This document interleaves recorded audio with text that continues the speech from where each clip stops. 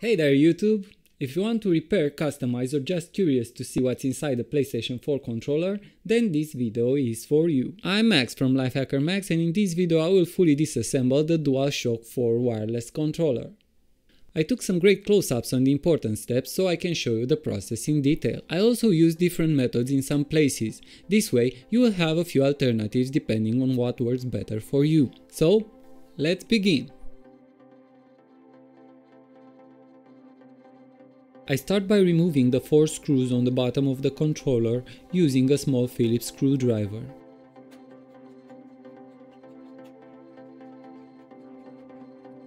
Next, I will pop the case open. I found it easier than other methods to twist gently until the lower part of the upper case pops open. There are four clips that hold the controller together, two near the extension port on the front of the controller and one on each side of the controller. Be advised that by opening the controller you might end up breaking the side clips.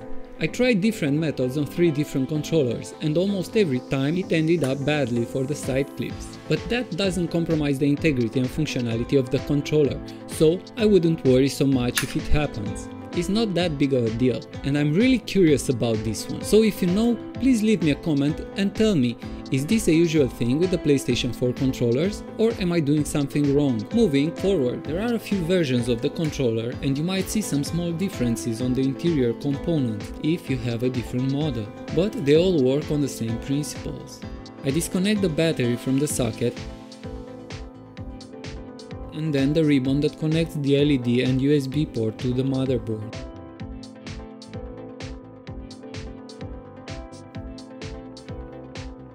There are a few plastic parts that need to be unclipped and removed in order to get to the small electronic board on the bottom case.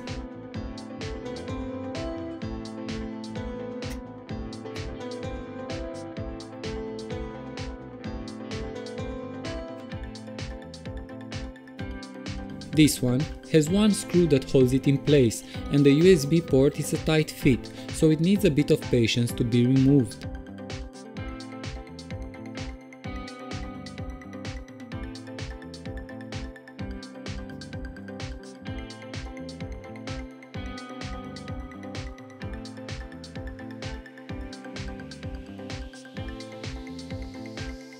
There is one last screw on the controller and you will find it right here remove it and the plastic battery support comes off.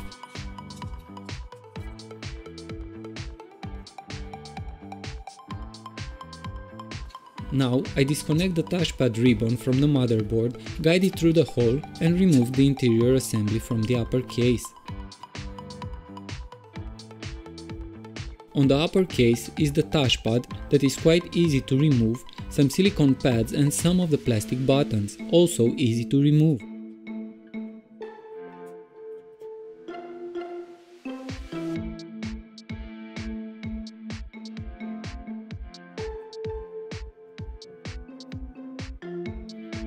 The thumbsticks will come right off by pulling them away from the board. When removing the left and right triggers, I found it easy to use a flat screwdriver.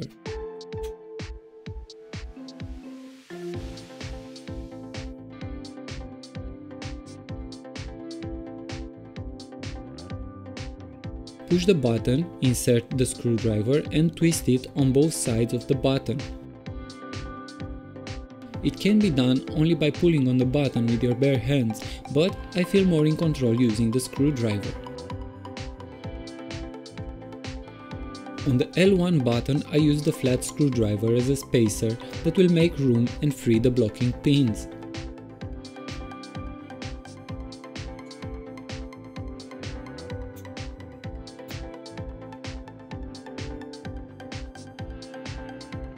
On the R1 button I only used my hands.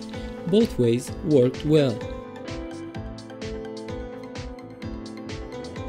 The silicone membranes will come off easily just by pulling them from their place. The motherboard is held in place by two plastic pins, but in order to fully remove the motherboard I have to disconnect the vibrators. Those are soldered on the board, you can unsolder them using a soldering iron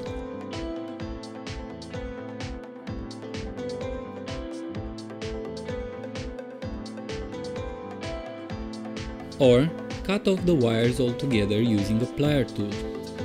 The plastic conductive film is pretty sensitive, so be gentle with this one. Don't scratch it, don't bend it and don't tear it. Be patient with it and it will come off easy. The film is held in place by four plastic pins and the design of the internal plastic frame.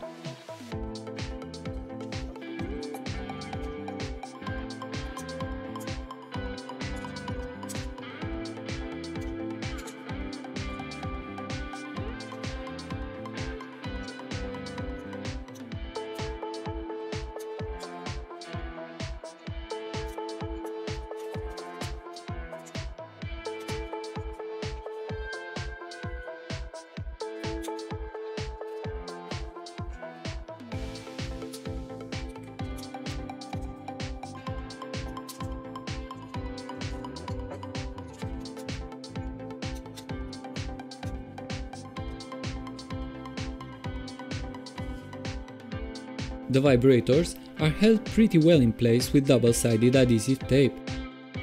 On the first one, I used a flat screwdriver.